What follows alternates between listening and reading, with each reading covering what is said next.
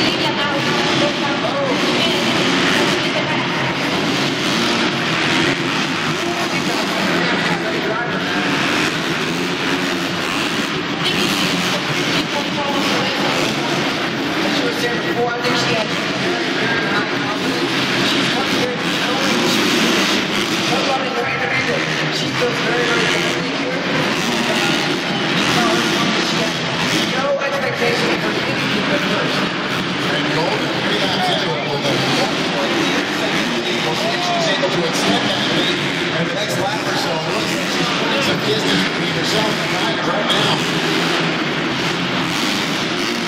And she does, she extends the lead. 0.6 seconds.